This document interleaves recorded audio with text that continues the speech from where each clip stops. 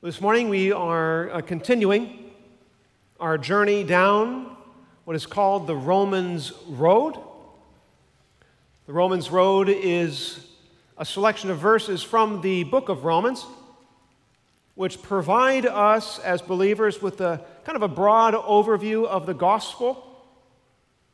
And it also is a helpful tool because these verses are rather short, but yet carry a lot of weight to them. And so they're easily memorizable. And so as we share our faith with our friends, neighbors, coworkers, and family, these verses can be used by the Holy Spirit as He brings them to mind to share the truths from God's Word of what God has done for them. We began that a number of weeks ago with the first stop along the Romans road. And what is that? Romans 3 23. And what is that verse? For all of the. That's right. Let's say it again. Just for us to say this together. For all have sinned and fall short of the glory of God.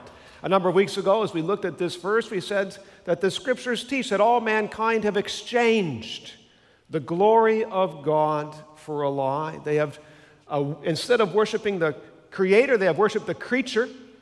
And in, do, in doing so, they no longer honor God or give thanks to Him. God gives them over to a darkened mind. They no longer fear the Lord. Then last week, we went on our next stop on the journey. So you have Romans 3.23. The next verse is what? Romans 6.23. And that verse is, For the wages of sin, but the gift of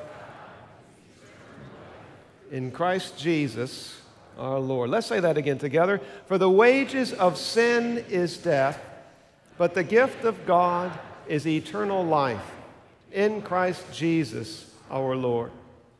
As we looked at this verse together, we recognize that sin is not just something we do, of course it is, but sin is also here a personified power whom we present ourselves before in order to serve sin and in serving sin, sin promises us life, but doles out his wage, and his wage is paid to us in death. This week, we'll take our next stop on our journey. So we've gone from Romans 3 to Romans 6, and now we're going to go back a chapter to Romans chapter 5. Chapter 5, verse 8. So I'll put this on our screen and let's read this together as well. Romans 5 8. Together. But God demonstrates his own love for us in this. While we were still sinners, Christ died for us. Turn to your neighbor and say, But God demonstrates his own love for us in this. While we were still sinners. Christ died for us.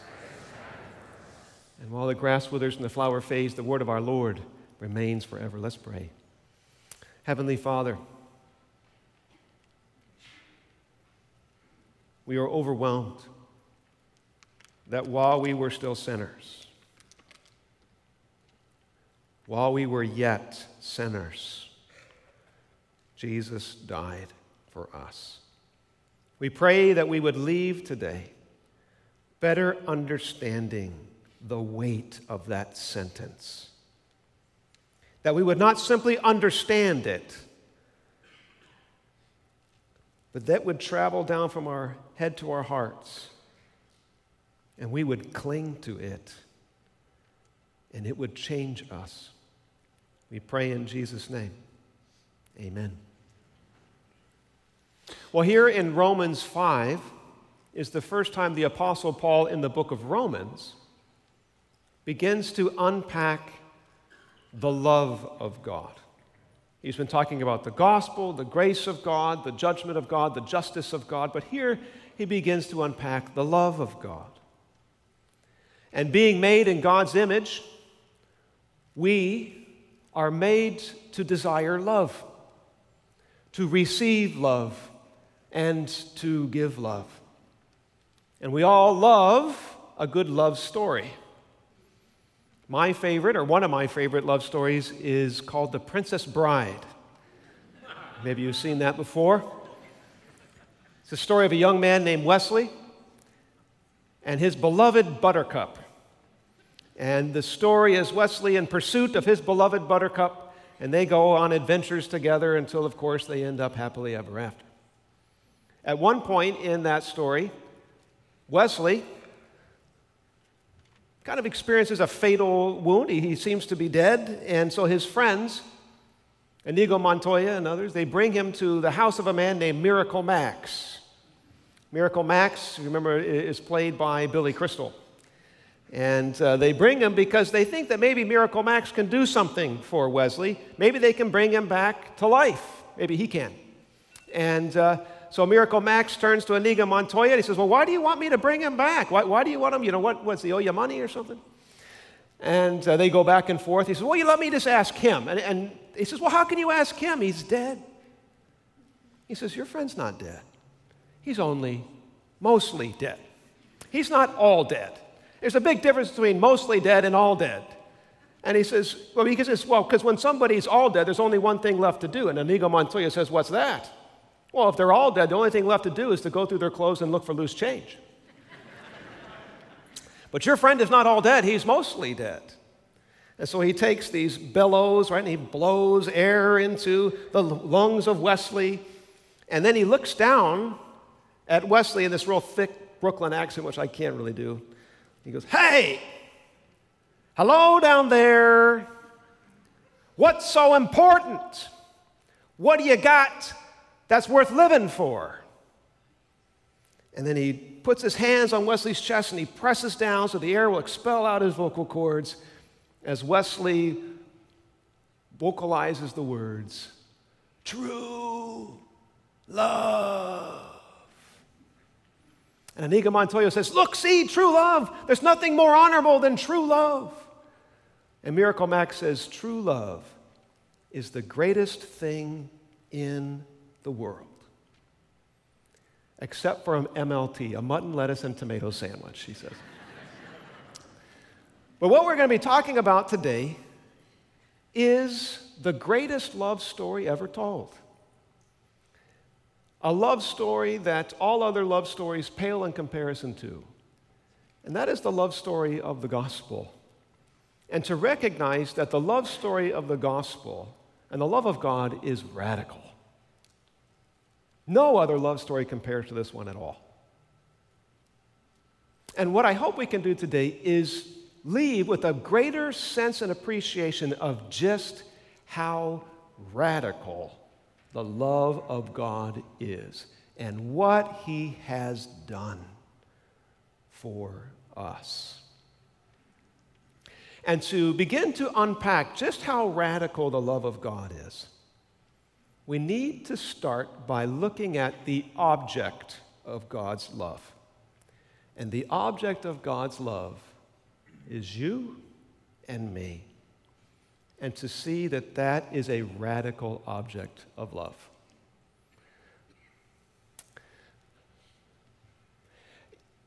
If you take, for example,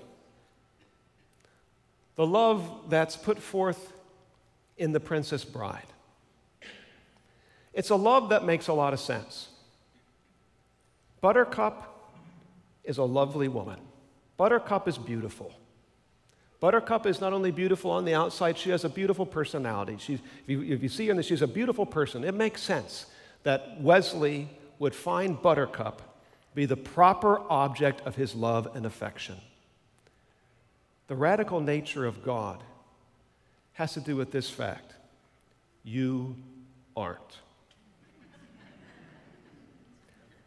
In Romans chapter 5, before we get to verse 8, you know, and when he says God's love is demonstrated in this, that while we're still sinners, Christ died for us. We have verses 6 and 7 that lead up to that. And Paul is comparing and contrasting a human love with a divine love. And there he begins by saying this You see, when we were still powerless, Christ died for the ungodly. Very rarely will anyone die for a righteous person. Though for a good person, someone might possibly dare to die. You know, there might be an, an object of some, someone's affection that's so lovely, so great, so righteous that maybe, maybe somebody might die for them. But God demonstrates his love for us in this. While we were still sinners, Christ died for us. Unless we begin to understand the full weight of that phrase, while we were still sinners, we will not understand the gospel and we will not understand grace. The full weight while we were still sinners. If we went out into the society today, in our culture here, and you ask the average person, do you think people are basically good or people are basically bad? What answer do you think you would get? People are basically good or bad? Basically good. That's the general, I'm not saying every single person, but the general answer from much of our society is that people are basically good. I, there was a news report just a few years old, and it, was, it, it really struck me because the, the, the headline of this article said, Breaking news, breaking news report. And here's the breaking news people are inherently good and nonviolent. Breaking news. And the substance of the article went on to say this When we hear about bad things, do we hear about some bad things? We hear sometimes some bad things. Here's what you should do. If you hear about anything bad, here's what you got to do. Remind yourselves as a mantra over and over again people are basically good, people are basically good, people are basically good. We are hardwired, he says, for goodness. And we start from a place of moral purity.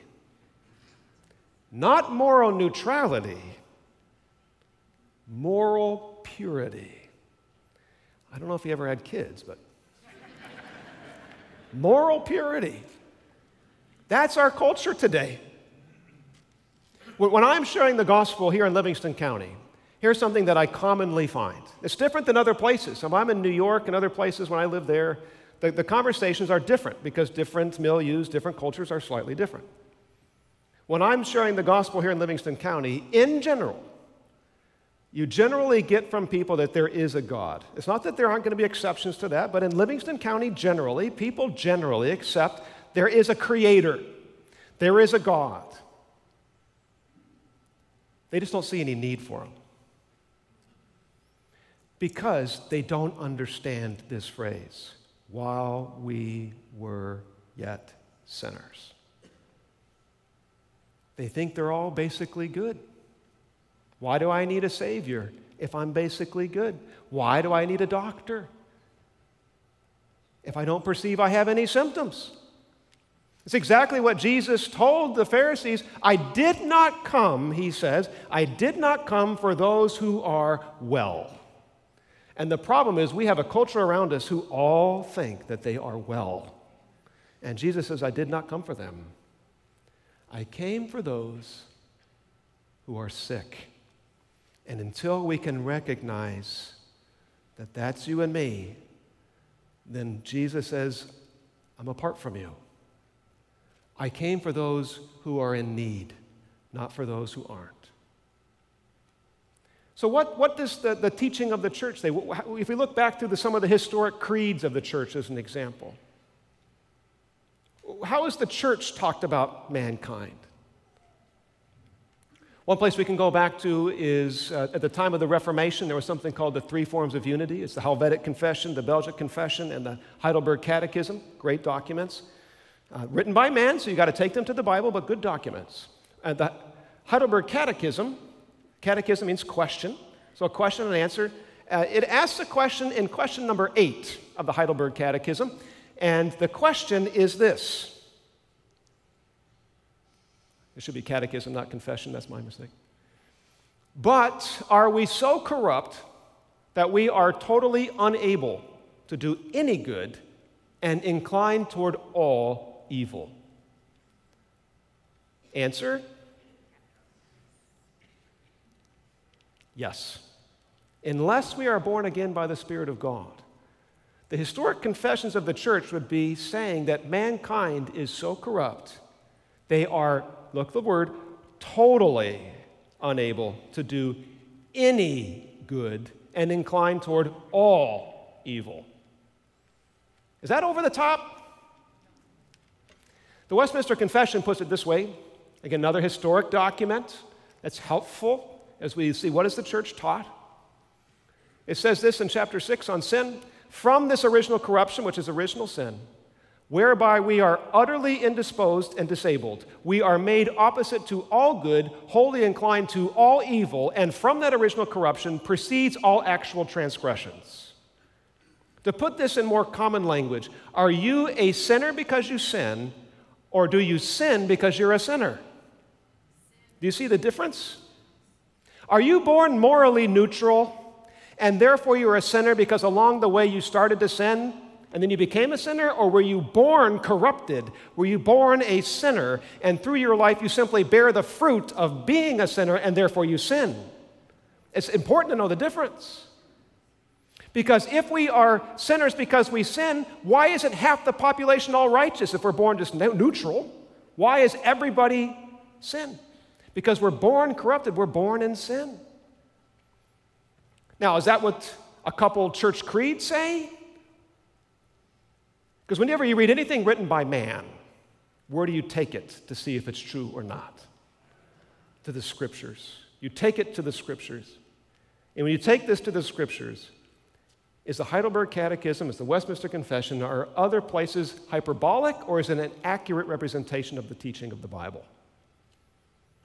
Genesis chapter 6, when God is looking upon mankind and giving his evaluation of everyone, here's what he says The Lord saw how great the wickedness of the human race. He didn't say the wickedness of Johnny and Susie and a few people here and there. The blanket verdict is that the human race is wicked and that every, not just some, this is where the confessions get the language of all. Every inclination of the thought of the human heart was only evil all the time. And what was the proper response of God to this verdict? It's called the flood. What does mankind deserve? And now, is, is this some kind of, you know, stodgy old, oh, good thing we don't really follow the Old Testament anymore. We don't like that Old Testament. Can we get rid of that? All the scripture is God breathed, all of it. The New Testament says the same thing. The Apostle Paul in Romans 3 there is no one righteous, not even one. There is no one who understands. There is no one who seeks God. All have turned away. They have together become worthless. There is no one who does good, not even one.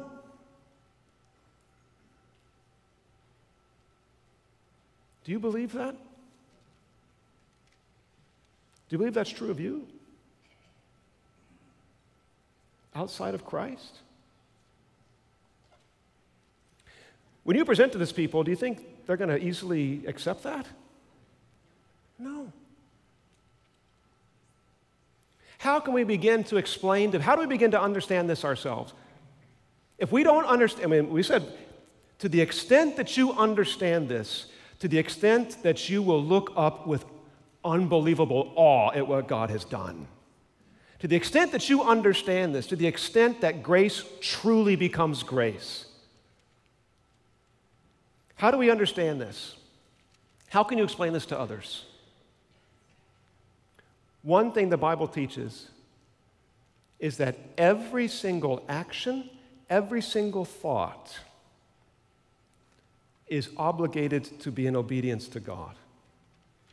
Every single one.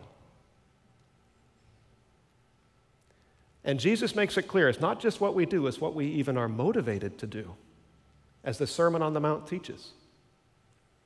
In Genesis 39, when Joseph is approached by Potiphar's wife, hey, come into me and, you know, let's have this illicit relationship together.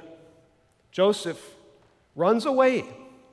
And as he does so, he says, How could I do such a wicked thing and sin against Potiphar, my master?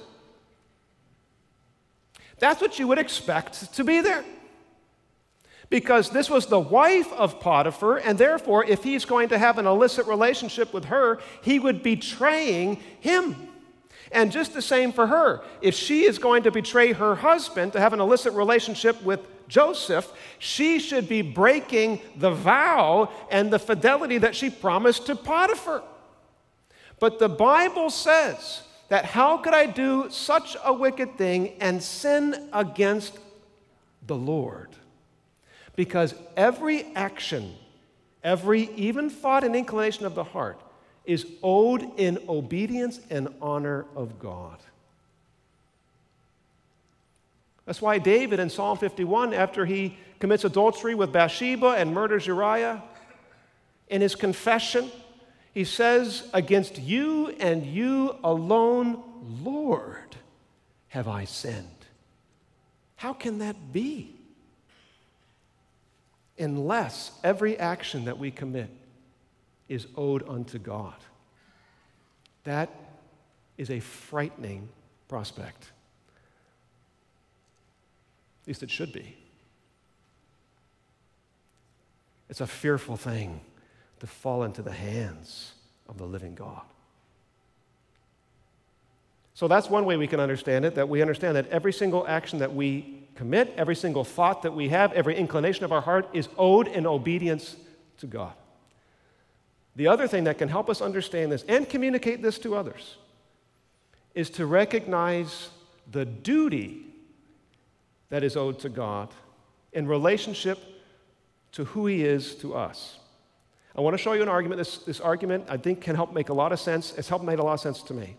It comes from a man named Jonathan Edwards. And Jonathan Edwards makes this point.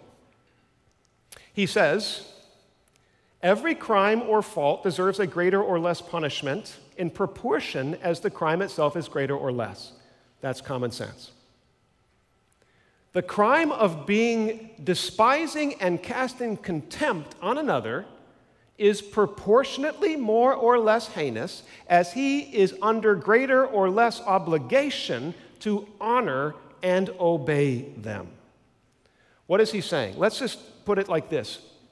Let's say that you were to go to a family reunion. And at that family reunion, or if you're not a family reunion, you're at home or whatever, uh, you or I, I spit in the face in contempt of my brother. I spit in the face of my brother. Let's just say for, an, for a second there that he didn't deserve that, but I, I did that to him. Is that good or bad? It's bad. Now, let's say that I do the very same thing. I spit in the face in contempt, not of my brother, but of my father. Same action. I spit in the face in contempt of someone. One was my brother, one was my dad. Which one's worse? Dad. Why? Because I owe my father greater honor, duty, and obedience than I do my brother. As the fifth commandment says honor your father and your mother. So, therefore, although it's the same action, it's a worse crime or it's more heinous to spit in the face of my father than my brother. Let's take it into the civic sphere. This is what Jonathan Edwards is saying. Let's take it into the civic sphere. Let's say you walk out into the street and you spit in the face of a stranger. Now, do you have an, an obligation to show respect to a stranger? Yes, so therefore, to spit in his face is something contemptible. And you shouldn't do it, and you would have some sort of repercussion for that. Maybe he'd hit you. But let's say you do the very same thing. You walk into the streets, and rather than spitting in the face of a stranger, you spit, you spit in the face of a police officer. Now, same action, but who is owed more honor, the stranger or the police officer? The police officer, in respect to his position he has greater authority, and therefore greater honor is known the police officer than the stranger. So if I spit in his face, it's worse. Now, let's say I go to court and I go and I spit in the face of the judge. Now we have someone of higher authority, higher office. Is this getting better or worse for me? much worse.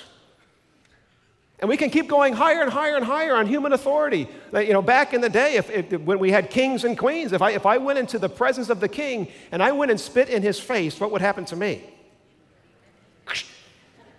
They don't ask me what's up. I'm just dead. Do you understand that? Here's what Jonathan Edwards says He says, God is a being of infinite greatness Every human being is of finite authority, finite greatness, finite honor, but God is not. God is infinite. He is a being of infinite greatness, infinite majesty, infinite glory, and therefore he is infinitely honorable. As much honor that you would have due to a police officer, or a judge, or whatever, God is infinite above it. And his authority is infinite and the ground of his right to our obedience is infinitely strong. How bad is this for us now? You thought it was bad to spit in the face of a king? God is infinite above that. And every thought and inclination of your heart is spitting in his face. Therefore, Edwards goes on to say, so that sin against God is a violation of infinite obligation and must be a crime infinitely heinous and so deserving of infinite punishment. Now imagine every thought and inclination of your heart is spitting in his face. How's it going for you? The better we understand this, the better we understand the radical love of God. That He could love you because you are not lovable. Romans 2 says it this way Don't you know that you're storing up wrath against yourself? If every action that you commit is an affront to God because you are not searching after Him, everything is wholly inclined to all evil, every inclination of your heart is against Him, everything which you are infinitely obligated to honor Him and infinitely obligated to obey Him, think about it like this when God tells the stars where to go, the stars bow in obedience to God and say yes. When God says for you to do something, you spit in his face and say no. You're storing up wrath for yourself. When his righteous judgment will be revealed, what's called in the Old Testament the day of the Lord. The Israelites in the Old Testament saying, Oh, let the day of the Lord come, let the day of the Lord come. Because they thought when the, when the Lord comes, when the day of the Lord comes, God's going to destroy Israel's enemies, and Israel will be vindicated, and we'll be at the top, and we'll be the head, and no longer the tail. When Joshua comes upon the head of the Lord's armies right on the outside of Jericho, remember this story? And he asked the Lord, the general of the Lord's armies, Are you for us or for them? What does he say? Neither. Neither. The question is not, is the Lord for you? The question is, are you for him? And what Amos tells the Israelites is, you want the day of the Lord to come? You think that's going to be a good day for you? Oh, Israelites, you have missed it. It is not going to be a day of light, it will be a day of darkness. Woe to you who long for the day of the Lord. Why do you long for the day of the Lord? That day will be darkness. It will be as though a man fled from a lion to meet a bear, as though he entered his house and rested his hand on the wall, only to have a snake bite him.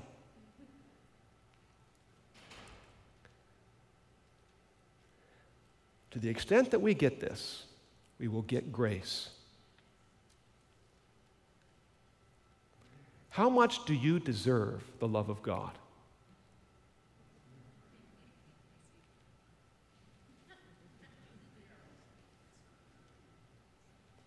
Zero. That's not what we're used to hearing.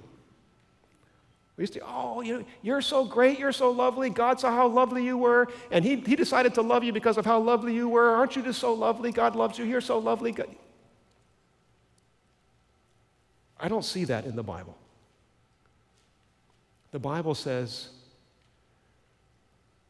while we were yet sinners wholly inclined to all evil. every thought and inclination of our heart, spitting in the face of an infinitely honorable God. That's radical love, that He would rescue you. The gospel isn't about you, the gospel is about God and who He is. And God's radical rescue plan is unbelievable. And when we get this, how can we help but not worship Him? You must worship God when you understand this. Galatians chapter 1, when the Apostle Paul is just white hot for the gospel, he can't even, he just even in the salutation and the opening of the letter, he just gets right to it. He just, he's there. He says, Grace and peace to you from God our Father and the Lord Jesus Christ, who gave himself for our sins. He just can't even wait to get to the gospel to rescue us from the present evil age. It is Jesus who rescues us because we are drowning. And he rescues us in a totally unique way in any other religion, any other system. Jesus is wholly and totally unique. Every other supposed savior, and even then it's not really an appropriate word. I mean, if you go to Buddha and you were to say, Buddha, my savior, Buddha would tell you no. Buddha doesn't purport to be anybody's savior. If you went to Muhammad, said, Muhammad, my savior, he'd say, No, I'm not your savior. What Buddha, Muhammad, what every other religious system promises to do for you is to give you a manual to dig yourself out of the hole that you're in. You're swimming and you're drowning, you're drowning, you're reaching up, you're drowning, and every other religion, every other system throws you a manual for how to swim. It says, save yourself. Jesus is unique. Jesus doesn't throw you a manual. Jesus jumps in the water. And he saves you and dies himself while saving you. That's Jesus. That's the gospel. As it says in 1 Peter 2, he bore our sins in his body on the tree that we might die to sin and live to righteousness. By his wounds, we have been healed. Only Jesus is the one that can save us from our sins. And the only way that we can be saved is to receive salvation. We bring nothing to the table. Nothing to the table. All we bring to the table is this our need. That's it. We bring to the table our need nothing else.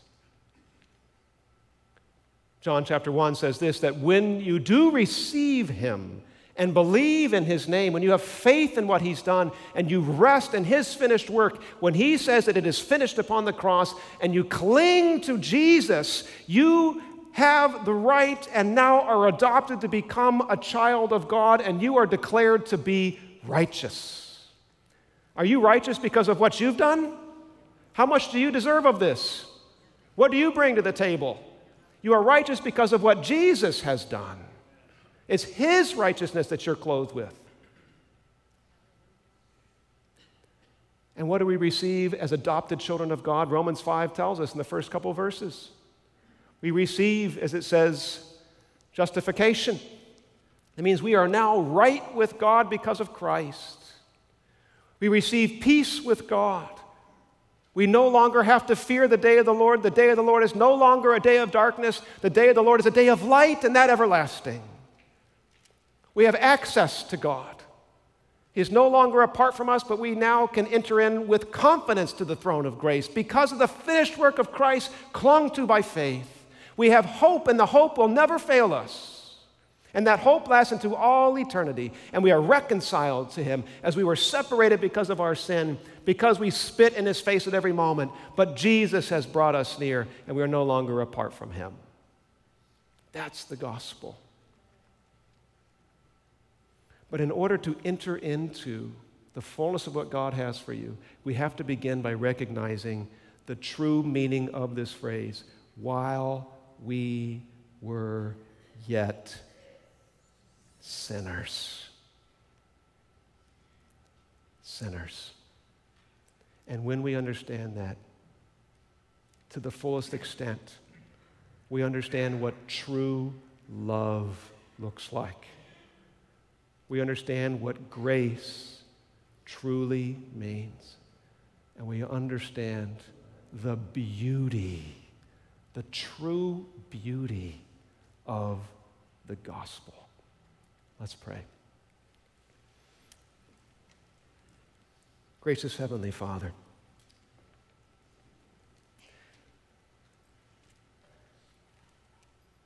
we are here today before you in total need and dependence at every moment for the grace of Christ. Lord, I pray that you would help us to see the full weight of what it means to be a sinner. To help us understand the full merit and deserving that is owed to us because of our sin.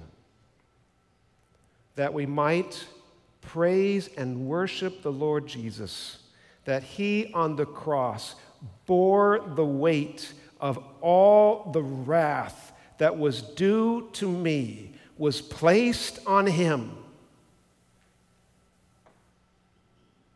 that I might today, tomorrow, and for all eternity worship Him and live every moment of my life empowered by the Holy Spirit to follow Him and to love Him with all of my heart, mind, soul, and strength, and my neighbor as myself. The beauty of the gospel. We pray in Jesus' name.